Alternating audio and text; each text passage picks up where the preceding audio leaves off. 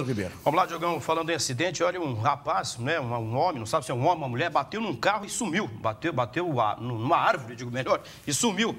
O veículo colidiu contra uma árvore na rua Ieda Pesarini Ferreira, lá na Zona Norte. Foi na madrugada de sábado para domingo. Lá esteve o Robertinho Perninha é, trazendo as imagens. Dentro do carro foram encontrados dois frascos de lança-perfume abandonado.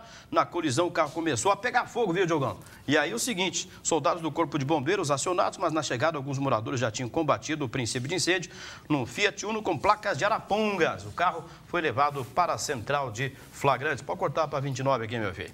Vamos falar de outro acidente, viu, Diogão? Acidente carro e moto grave. Só que os veículos sumiram, Diogão. Como Tanto assim? a moto como o carro, olha só. Esteve lá o Andelson Moro, conferindo essas informações. Socorristas do CIAT acionados na noite de ontem, domingo, na rua Rainha da Paz, lá no chefe Newton. A chamada no 193 dava conta de um acidente grave, conferido, envolvendo carro e moto. Vocês não vão ver carro e moto aí porque não estavam no local. Mas levaram Chegando, tudo. É, levaram. É, Lucas William Rodrigues, 30 anos, bastante machucado, que seria né, o condutor da moto. O médico do SAMU chegou a ser acionado. A vítima com gravidade, trauma de face de crânio, várias escoriações, foi levado para o hospital, Diogão.